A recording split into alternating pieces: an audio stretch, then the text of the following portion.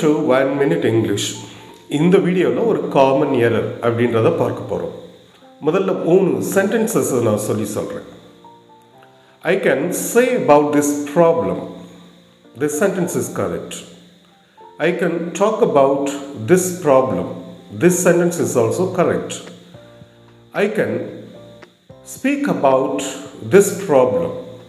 This sentence is also correct. Say about, talk about speak about இந்த சென்டென்ஸில் எந்த மிஸ்டேக்ஸும் கிடையாது. ஆனால் இப்படி சொல்லுவது சரியாக இருக்காது. I can discuss about this problem அப்படின்றது சரியாக வராது. ஏனென்றால் டிஸ்கஸ் என்ற வார்த்தை வரும்போது அபவுட் என்ற வார்த்தை வராது. எப்படி சொல்ல வேண்டும்? I can discuss this problem அப்படி என்று சொல்ல வேண்டும். டிஸ்கஸ்னா என்ன அர்த்தம் கேட்டால் டாக் அபவுட்